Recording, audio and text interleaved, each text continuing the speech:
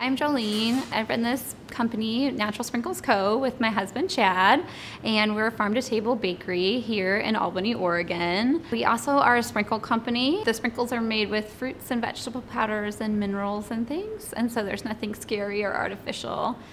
We really had this vision um, for Natural Sprinkles Co.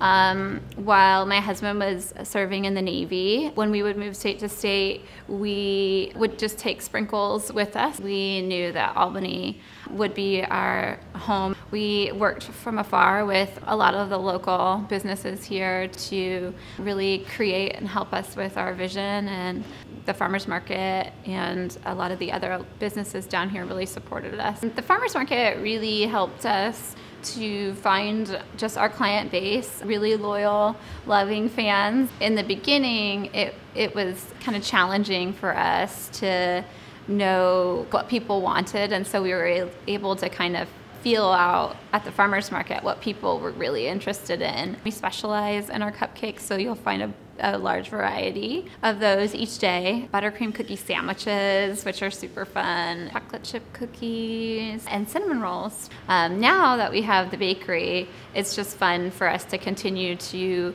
go and meet the customers at the farmers market. And we also have market exclusives that we just do for the farmers market and we don't have in the shop. So it's just kind of a fun dynamic of who we are.